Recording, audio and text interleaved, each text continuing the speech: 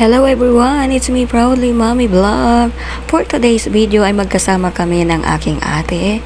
Ayan, pati nadamay ako kasi nag, nagyaya siya, nayayain ako papunta sa ate ko. Ano daw?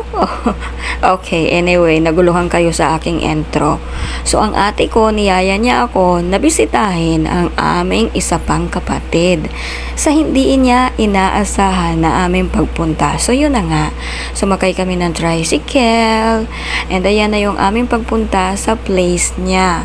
So, ang ate ko, walang kaalam-alam na kaming dalawa ay pupunta sa bahay niya. So habang nilalakbay namin sakay ng tricycle, ay makikita ninyo ang napakaganda namang tanawin.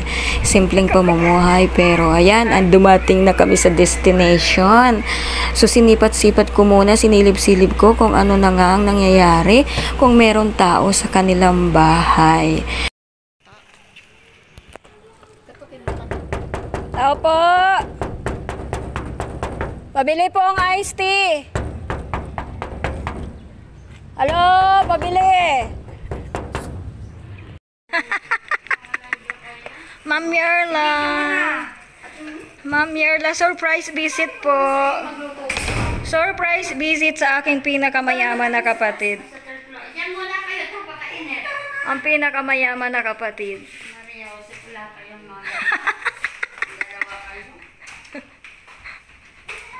House tour. Wala kayong magawa. O, diba? Sa pagbukas pa lang ng kanyang gate, gulat na gulat talaga siya kasi hindi niya ine-expect na pupunta kami sa kanilang bahay. At wala nang ang humpay ang kanilang kwentuhan na dalawa na ako naman ay sobrang busy na sa pagbibidyo ng kanyang bahay. At dahil sa may nakita kaming piatos, so ayon, binuksan ko na, nakialam kami. Tapos yung ate ko, para pambayad sa piatos, ayon, nagtitiklop siya ng damit doon sa may-ari ng piatos. Ayan, shout out Kuya GB, thank you sa piatos. Ate Grace to. Wow, Wow, picture, picture. wow, wow, kainan na. At ayan na nga, pinagluto ako ng ate ko ng pansit. Dahil kami na nga ang nambwisita, kami pa talagang ipinagluto ng ate ko, o diba? Pero ako ang nagluto niyan dahil sobrang busy siya na mag-ayos ng kanyang malaking bahay.